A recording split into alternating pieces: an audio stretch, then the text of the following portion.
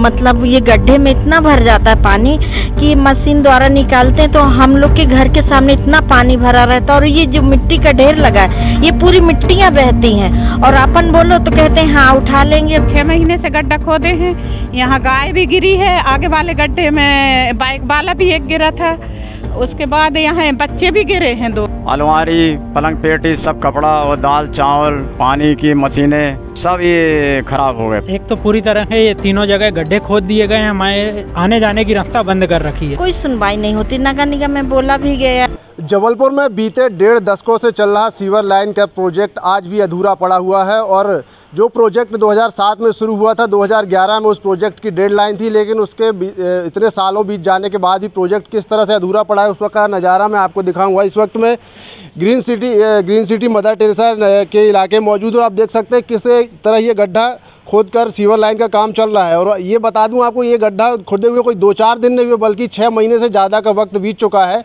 और इस गड्ढे में गिरकर कई जानवरों की और कई लोगों की भी घटनाएँ हुई हैं, जिसमें कई लोग घायल भी हुए हैं। और हाल ही में इस गड्ढे की वजह से जो पाइपलाइन है, मुख्य पाइपलाइन जिससे कि घरों में पानी जाता हुआ फूटी थी, और यहाँ के रहने वासियों को बड़ी दिक्कतों का सामना इस भीषण गर्मी में करना पड़ा था। हाईकोर्ट के आदेश के बावजूद भी नगर निगम इस प्रोजेक्ट को पूरा नहीं कर पा रहा है। मध्य प्रदेश मानव अधिकार आयोग ने भी इस पूरे प्रोजेक्ट के मामले में नगर निगम कमिश्नर को पत्र जारी किया था और संज्ञान लेते हुए उस प्रोजेक्ट को जल्द पूरा करने की बात कही है। कुछ स्थानीय लोग आप देख सकते हैं किस तरह परेशान है। बीते छः महीने से यह गड्ढा खुदा हुआ है और यह केवल हालात एक जगह के नहीं, केवल मदर टेरेसा नगर के नहीं, बल्कि जबलपुर शहर में कई जगहों पर ये हालात है जहाँ पर सीवर लाइन के प्रोजेक्ट दुर्दशा का शिकार है और अब यह प्रोजेक्ट कब पूरा होगा, यह बताने का कोई भी जिम्मेदार अधिकारी, ये, कोई भी जिम्मेदार अधिकारी यह बता नहीं पा रहा है। कुछ स्थानीय लोग हैं, उनसे बातचीत करेंगे। कब से ये गड्ढा यहाँ पर खुदा हुआ है? किस तरह की समस्याएँ का सामना आपको करना पड़ रहा है? आप बताइए, आपके घर में पानी घुस गया था। क्या समस्या हुई? हमारे घर में ये चौबीस इंची पाइपलाइन फूटी जो नर्मदा जी से सीधे आती है तो पूरा तीन चार फुट पानी भर गया। पूरा कपड़ा, अलमारी, पलंग पेटी, सब कपड़ा और दाल, चावल और ये पानी की मशीनें, पंखा सब ये ख़राब हो गए। पानी चढ़ाने वाली मशीन वो भी ख़राब हो गई जल गई पानी में। पाइपलाइन फूटी पाइपलाइन फूटी पानी नहीं आया तो इसकी शिकायत किसी से की आप लोगों ने? हाँ पाइपलाइन फूटी पानी नहीं आया तो उसकी शिकायत की नगर निगम के पार्षद वगैरह से। तो दो दिन से पानी की बहुत बड़ी समस्या है। यहाँ पे ये पुलिया भी टूटी है नाली भी टूटी है और पानी की बहुत बड़ी समस्या है। चौबीस पाँच छः महीने हो गए इस गड्ढे को खोदे हुए तो इस जब गड्ढा खोदा हुआ सीवर लाइन तो इसको लेकर किसी से जवाब बातचीत की किसी अधिकारियों से या जनप्रतिनिधियों से? हाँ जनप्रतिनिधियों से एम एल से बात हुई और ये पार्षद से तो कई बार बात हुई और पार्षद कई बार आया भी। और ये जो कंपनी वाले हैं इन लोगों से तो डेली बात होती रही बस एक मिनट में एक दिन में दो दिन में ठीक हो जाएगा दो दिन में ठीक हो जाएगा और उनने ऐसा ला दिया कि हमारे घर में तालाब भर गया। और हमारा तीन चार महीने का बच्चा वो तालाब में समझ लो तैरने लगा।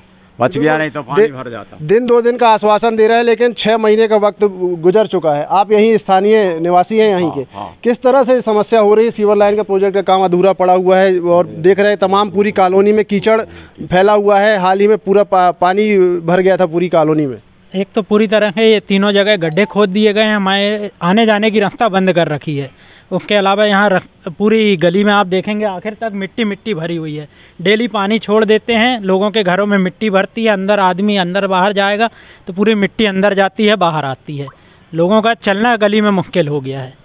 गिरते क्या किसी बात हुई किसी जनप्रतिनिधि से उच्च अधिकारियों से नगर निगम के? क्या कुछ प्रोजेक्ट के इतना आखिर क्यों डिले हो रहा है? कब तक समस्या का सामना करेंगे कॉलोनी वाले? लोकल पार्षद हैं आते हैं देख के चले जाते हैं वो भी क्या करेंगे? बाकी जन नगर निगम के बात हो रही तो बोलते हैं हम करवाते हैं करवाते हैं बाकी कोई सुनवाई नहीं। जी। कुछ महिलाएँ भी उनसे बातचीत करेंगे। आप तो यहीं कॉलोनी में रहती हैं, आप चौबीस मतलब महिलाएँ अधिकतर जब घर पे रहती है तो किस तरह की समस्याओं का सामना करना पड़ रहा है इस प्रोजेक्ट के अधूरे पड़े होने की वजह से? जी, यहाँ पानी मतलब ये गड्ढे में इतना भर जाता है पानी कि मशीन द्वारा निकालते हैं तो हम लोग के घर के सामने इतना पानी भरा रहता है और ये जो मिट्टी का ढेर लगा है, ये पूरी मिट्टियाँ बहती हैं। और अपन बोलो तो कहते हैं हाँ उठा लेंगे, कोई मतलब नहीं। पूरी रोड में मट्टी मट्टी अब पूरी गलियाँ बंद करें। छोटे छोटे बच्चे लेके हम लोग कहाँ कहाँ जाएँगे। कुछ घटनाएँ भी हो जाती क्या ऐसे गड्ढे की वजह से? जी इस गड्ढे में गाय गिर गई थी। एक बार कोई और भी गिर गया था। तो लोगों ने निकाले पर कोई सुनवाई नहीं होती। नगर निगम में बोला भी गया है और जो ये अधिकारी लोग काम कर रहे हैं बोलते हैं हाँ बस एक घंटे में कर देंगे दो घंटे में कर देंगे आगे कोई काम नहीं करते हैं। आपसे भी जानना चाहूँगा आप भी यहाँ के स्थानीय क्या किस तरह की समस्याओं का सामना होना हो रहा है? ज़्यादा परेशानी अभी दो दिन से तो घर में नल नहीं आया था। उसके बाद पूरी कीचड़ यानी यहाँ सब घरों में जाती है। ना सब्ज़ी वाले आ रहे हैं यहाँ कोई ठेले वाले ना कोई फल वाले आ रहे हैं। वहाँ दूर जाना पड़ता है लेके सब्ज़ी लेने या कुछ के भी लिए। बहुत ज़्यादा परेशानी। छः महीने से गड्ढा खोदे हैं। यहाँ गाय भी गिरी है। आगे वाले गड्ढे में बाइक वाला भी एक गिरा था। उसके बाद यहाँ बच्चे भी गिरे हैं दो बार।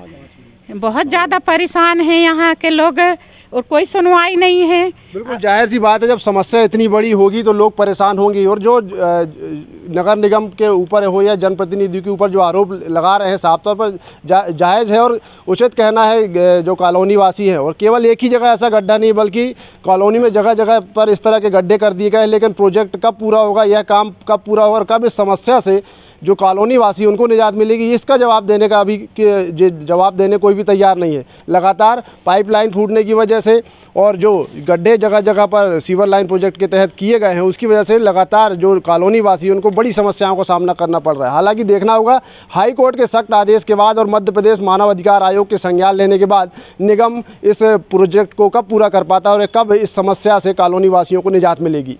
धर्म गौतम आई बी जबलपुर।